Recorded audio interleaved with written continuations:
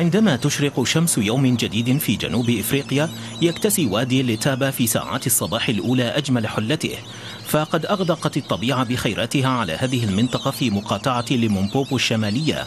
طقس مشمس وماطر يجعل الغابات ومزارع الشاي والفاكهة تنمو وتزدهر. ويقال إن تفاح وكليمونتينا وبرتقال هذه المنطقة هي الأفضل في البلاد. وهنا توجد أيضا منذ أكثر من خمسين عاما شركة لتابا التي تعمل في إنتاج وتصنيع الفواكه الحمضية وتسعى في الوقت ذاته إلى حماية المناخ. نهج تسير عليه الشركة منذ وقت طويل.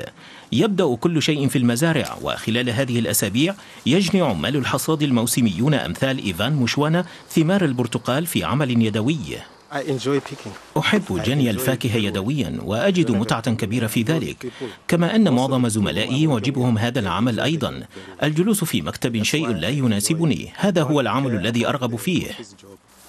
This is my job. This is what I want. إيفان وزملاؤه يجنون 85 ألف طن من الفاكهة سنويا. وفي مصنع الشركة يتم فرز الثمار وإعدادها للتصدير أو غسلها في أحواض طويلة ليصنع منها العصير لاحقا. لتابا واحدة من أكبر شركات تصدير وتصنيع الفواكه الحمضية في جنوب إفريقيا. بيد أن عملية تصنيع الفاكهة تحتاج لكمية كبيرة من الطاقة. في الماضي كانت الشركة تستهلك ثمانية ألاف طن من الفحم سنويا متسببة في انبعاث كمية هائلة من ثاني أكسيد الكربون. لذا قررت الإدارة إحداث تحول داخلي في سياسة الطاقة الخاصة بالشركة حيث يتم تدريجيا استبدال الفحم بنشارة الخشب. هذا النوع من الكتلة الحيوية يستخدم منذ عام 2011 كوقود بديل للأفران الكبيرة التي يتم بواسطتها تجفيف قشور الثمار. رئيس الشركة أندريس فان فينغارت فخور بمصدر الطاقة الجديد الرفيق بالبيئة. من هذا القمع تصل نشارة الخشب إلى هذا الأنبوب. ومن ثم إلى الفرن هنا في الأسفل الذي يسخن المجفف. الجيد في الأمر هو أن حرق نشارة الخشب لا يتسبب في انبعاث ثاني أكسيد الكربون على عكس الفحم الذي كنا نستخدمه منذ وقت طويل. كتلة حيوية قيمة من نشارة الخشب خالية من ثاني أكسيد الكربون. حرارة الفرن 800 درجة مئوية وذلك بفضل سرعة اشتعال نشارة الخشب. أطنان من قشور الثمار المتبقية من عملية التصنيع يتم تقطيعها ووضعها في أسطوانة ضخمة أشبه بآلة تجفيف الملابس حيث يعمل الهواء الساخن على امتصاص الرطوبة من القشور. المنتج النهائي علف للماشية عالي الجودة. وبذلك تكتمل الدائرة الإنتاجية للفواكه فمخلفاتها تعود إلى الطبيعة مجددا. ومن هنا تأتي أيضا نشارة الخشب على بعد 20 كيلومترا من المصنع نمت على سفوح الوادي على مر السنين غابات شاسعة من أشجار الصنوبر والكافور التي تنمو بسرعة. لا عجب إذن أن تزدهر في المنطقة تجارة الخشب. هنا في الجبال يقطع في هذا الموقع وحده ما يصل إلى 300 شجرة في اليوم الواحد. وفي ورش النجارة المنتشرة على طول الطرق الرئيسية تصنع من جذوع الأشجار بالأساس منصات خشبية لنقل البضائع وكل ورشة تنتج أكواما هائلة من نشارة الخشب وهذه النفايات العضوية تحتاجها شركة ليتابا. أمر يناسب تماما روهان فيزاجي أحد مالكي ورشة للنجارة. إذا كان بإمكانهم الاستفادة من نشارة الخشب فهذا أفضل بكثير من تركها تتراكم هنا. وهم يساعدونني أيضا في الحفاظ على نظافة المكان. وإذا كنا بذلك نسهم في حماية البيئة فهذا يسرنا كثيرا.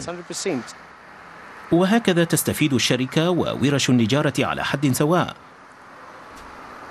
وهناك أيضا مستفيد آخر. وهو سائق الشاحنة جولد الذي ينقل بانتظام نشارة الخشب من ورش النجارة إلى مصنع لتابا وهو يؤدي هذا العمل منذ عام.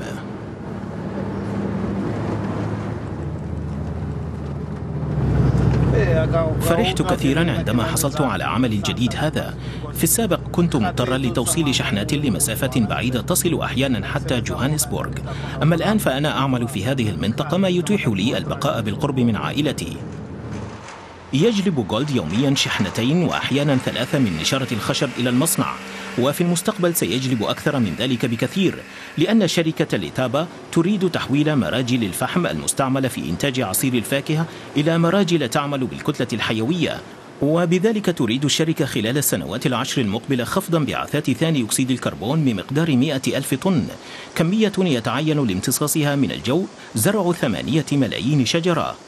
بيد أن نجاح شركة ليتابا لا يستفيد منه الجميع فبعض العاملين وأسرهم لا يحصلون على شيء من أرباح الشركة وما تجلبه لها مشاريعها الرفيقة بالبيئة. مئات العمال معظمهم موسميون يسكنون في مساكن تابعة للشركة عبارة عن أكواخ صغيرة متداعية. دونالد مالوليكي على سبيل المثال يعيش مع زوجته في مسكن ضيق وهذا يغضبه كثيرا ويجعله يشعر بالحزن. هذا المسكن لا يحتمل. لا توجد فيه مياه جارية ولا مرحاض. ونحن نعاني كثيرا جراء ذلك.